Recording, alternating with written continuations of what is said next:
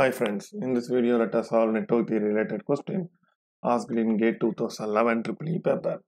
The question is, you see the value of resistance R required for the transfer of maximum power to the load having a resistance of 3 ohms.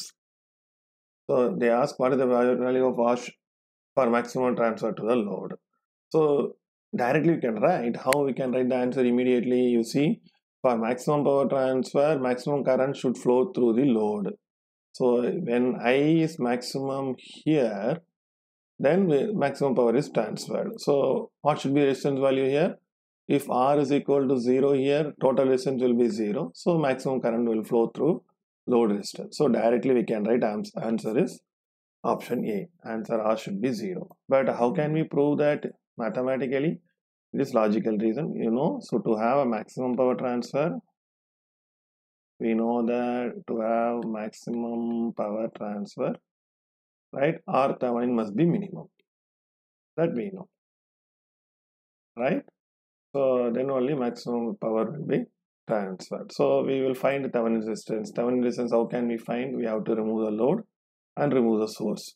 So source if you it is a voltage source if you remove the voltage source what will happen? It will become short circuit. So it will be short then we have a R here and uh, this is R. This is 6 ohm. So across the load we have to find the equivalent resistance R Thevenin.